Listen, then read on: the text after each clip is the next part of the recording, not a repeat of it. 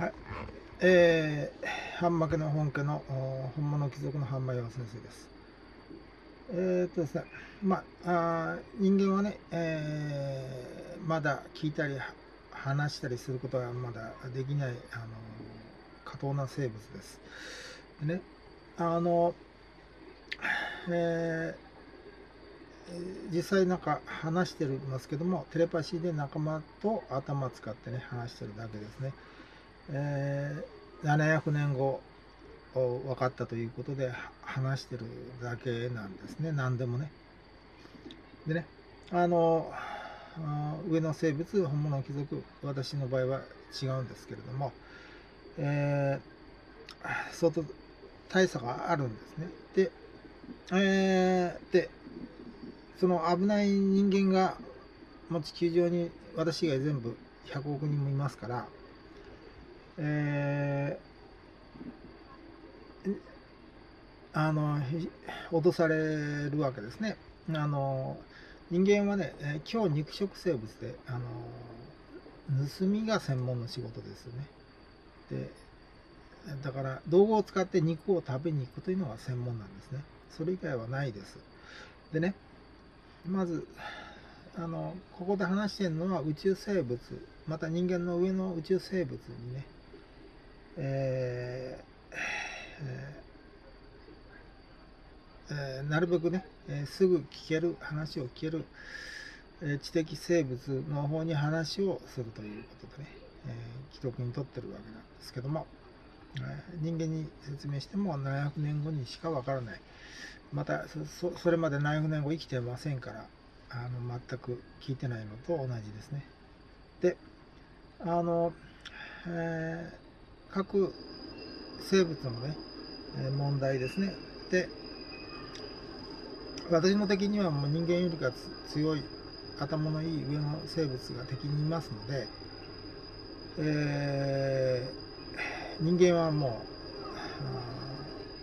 うどうでもいいわけですね。もう関係ないんです全然。野蛮だけで。あのえー上の生物が支配してましてね。で敵敵の生私の敵の生物人間よりか頭のいい生物で人間は動きますからまた良い生物も少しいて、ね、力かけてると動くわけですね。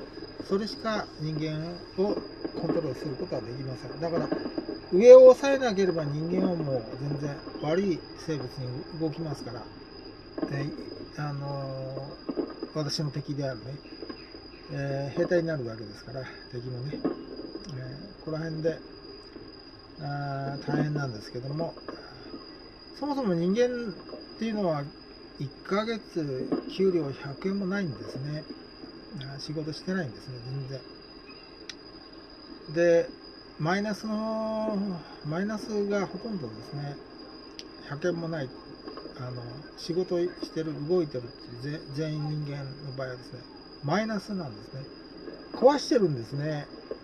で仕事してんじゃないんです。だから今日肉食だから荒らすわけですね。それで肉食って生きてるだけですから。ね。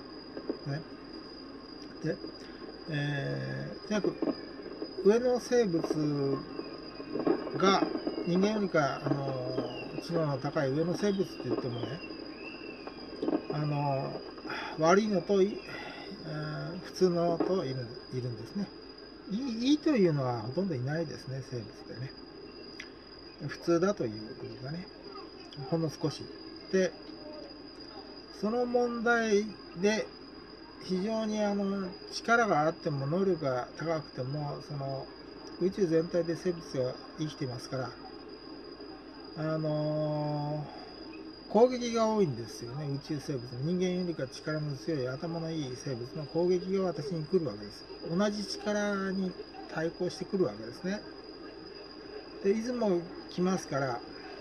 でそこで身近にいる過当な人間生物がその上の悪い生物にに乗ってね、えーあの私の方に攻めてくるんでで必ず人間全員ですね力かけます人間が全員ですね一人だけじゃないですねであの、地球で私の方は生き残らないといけませんから、上の生物で一人だけなんですけどね。ただ上の生物なんで、いかにね、この宇宙全体からの敵の攻撃に対応するかですね。宇宙全体の、人間以外の宇宙全体の攻撃というのは人間をロボット化しまして、ただの攻撃攻撃ロボットとして動かしますから、えーあの強いわけですね。で、宇宙の生物というのは強いわけです。で、悪い生物はあんまりテレパシーが届かないんですけどね、遠くに届届かない、あの遮断されるんですよ。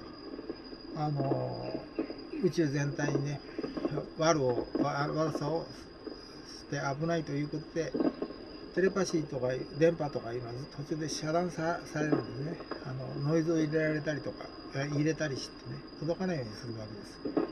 高知能者しか長距離テレパシーっていうのはできないんですね。正しい。ね。で、そこら辺で、身の回りに私の仲間とかいうのがいませんから、その、長距離、ね、テレパシーで仲間を呼んで生きてるわけですね。身近には味方いませんから、知知能の高い生物いませんからね。そこら辺を呼んで生きてるわけですけどね。まあ、それでも遠すぎるんで、なかなか大変なわけですね。で、で人間はもう本当にその難しい勉強できるような感じで見えますけども、全部ノアによるカンニングがほとんどなんですね。で意味わかんなくて覚えてるだけで無心になってるんですね。